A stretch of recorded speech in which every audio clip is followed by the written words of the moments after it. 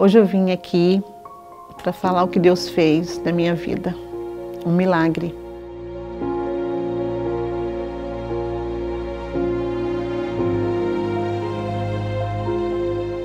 Há dois anos atrás, eu estava sofrendo muito devido a um mioma de 8 centímetros, que estava prejudicando muito a minha saúde e eu estava tendo muitas hemorragias e os médicos tinham comentado que eu não poderia ter mais porque eu peguei uma anemia muito forte e por conta disso é, eu comecei a fazer uma campanha e pedi uma oração para a célula, né?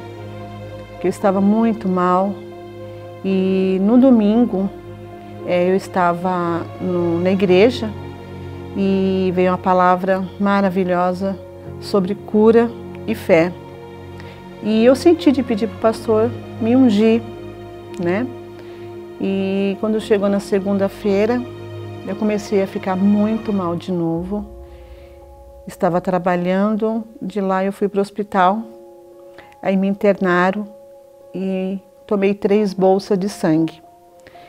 E a médica tinha pedido que realmente eu tinha que fazer uma cirurgia, que eu estava esperando há dois anos atrás e ela tinha conseguido para mim fazer essa cirurgia naquele dia mesmo.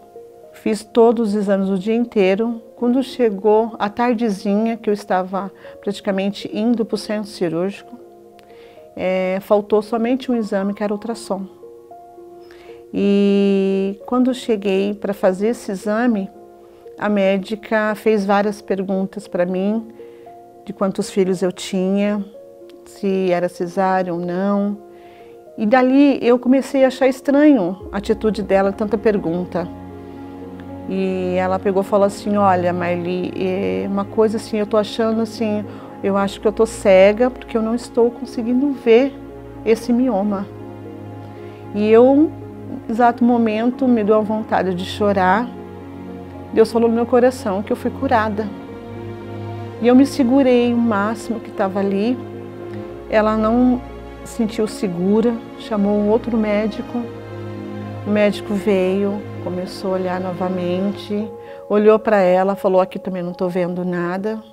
Chamaram um outro médico, na verdade ficaram três médicos lá e não viram nada de mioma, nem um centímetro.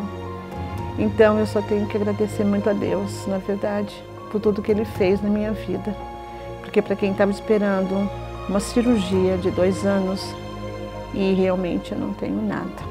Meu nome é Marli Fernandes Campitelli. Eu estou aqui para declarar Jesus Cristo é o Senhor e Salvador da minha vida.